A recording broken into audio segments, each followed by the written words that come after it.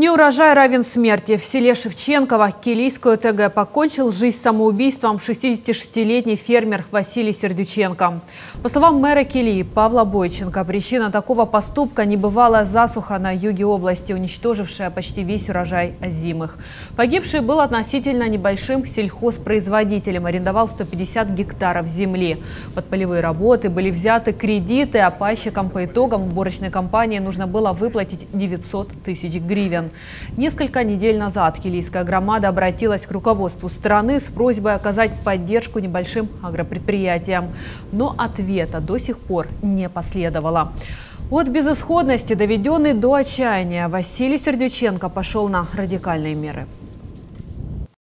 Мы просили в этих сложных обстоятельствах руководство страны повернуться лицом к людям.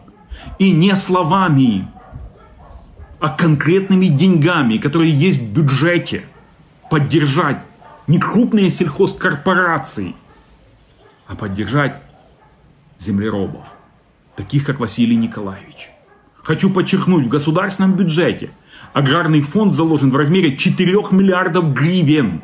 Это серьезные деньги, которые сегодня как никогда нужны не как кредитный какой-то ресурс, а как финансовая компенсация потерь в связи с чрезвычайной ситуацией.